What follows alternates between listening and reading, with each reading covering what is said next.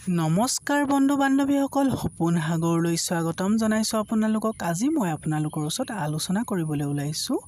সপোন শাস্ত্ৰৰ অনুসৰি যদি আপোনালোকে কেনেবাকৈ নিজৰ দেউতাকক সপোনত দেখিছে বা সদায় দেখিছে বা কেতিয়াবা দেখে বা যদি আপোনাৰ দেউতা ঢুকাইছে বা আপুনি সপোনত দেখিবলৈ ধৰিছে দেউতাকক তেতিয়াহ'লে ইয়াৰ কি অৰ্থ হ'ব পাৰেনো? আমাৰ আহিবলগীয়া দিনকেইটাত বা আমাৰ ভৱিষ্যতে ই কিহৰ সংকেত লৈ আহে আমাৰ জীৱনলৈ?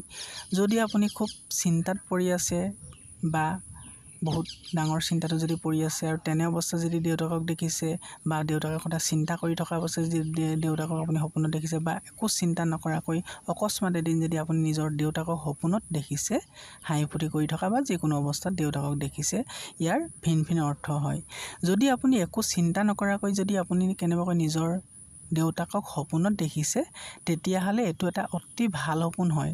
যদি দেউতাক জীয়াই থকা অৱস্থাত আপুনি সপোনত দেউতাকক দেখিছে তেতিয়াহ'লে এইটোৱে বুজায় যে সপোন শাস্ত্ৰ অনুসৰি দেউতাকৰ মৰম চেনেহ যি আপোনাৰ লগত সদায় আছে বা আপুনি যি কাম কৰিব সেই অৱস্থাত যদি দেউতাকক সপোনত দেখে সেই কামত আপোনাৰ অতি সোনকালে উন্নতি হ'ব বা যি কাম আপুনি হাতত ল'ব সেই কামত আপুনি ছাকচেছ হ'ব পাৰিব। কাৰণ ভগৱানে এইটো সংকেত দিয়ে যে মা দেউতাকৰ মৰম বা আশীৰ্বাদ আপোনাৰ লগত সদায় আছে।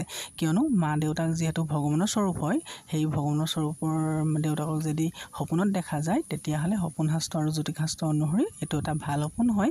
এনে সপোন দেখিলে আপুনি নিশ্চিতভাৱে আপোনাৰ নিজৰ কাম কৰি যাওক।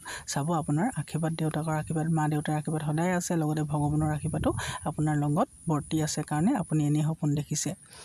যদি আপুনি মৃত্যুৰ পিছত যদি দেউতাক মৰাৰ পাছত কেতিয়াবা যদি আপুনি দেখিছে যদি চিন্তা কৰি আছে তেতিয়া দেখিলে এইটো আপোনাৰ মনোবিজ্ঞানৰ মতে এইটো সপোনৰ কোনো অৰ্থ নাথাকে। যদি আপুনি দিনটোত যদি আপুনি চিন্তাই কৰি আছে তাৰপাছত যদি ৰাতি অকস্মাত দেখি গৈছে তেতিয়াহ'লে এইটোৰ কোনো অৰ্থ নাথাকে। কাৰণ সপোন এইবোৰ সপোনৰে অৰ্থ থাকে যিবোৰ কোনো চিন্তা চৰ্চা আমি নকৰাকৈ অকস্মাত আমি সপোন কেতিয়াবা দেখি যাওঁ। সেই সপোনৰে অৰ্থ পোৱা যায়। গতিকে যদি আপুনি দেউতাকক তেনেধৰণে দেখিছে আৰু মৃত্যুৰ পিছত যদি দেখিছে তেতিয়াও এইটো ইয়াৰ অৰ্থ এইটোৱে যে মৰাৰ পাছতো দেউতাকৰ মৰম বা যি আশীৰ্বাদ আপোনাৰ লগত আছে যিহেতু কোৱা হয় যে মৃত্যুৰ যি ব্যক্তিসকলৰ যি আশীৰ্বাদ যদি ঘৰখনত থাকে এই ঘৰখন কেতিয়াও অমংগল নহয়। ঠিক তেনেধৰণে দেউতাকক যদি আপুনি নিজে দেখিছে তেতিয়াহ'লে আপোনাৰ জীৱনো খুব ৰঙীন হ'বলৈ যাব। যদিও আপুনি কষ্ট ভোগ কৰি আছে আপুনি লাহে লাহে আপোনাৰ উন্নতি হ'ব। গতিকে সপোনত আপোনালোকে দেউতাকক কি অৱস্থাত দেখিছে আপোনালোকে মোক কমেণ্ট কৰি জনাব। মই সকলো কমেণ্টৰ উত্তৰ আপোনালোকক দিম। গতিকে আজিলৈ ইমানে আছিলে। ধন্যবাদ।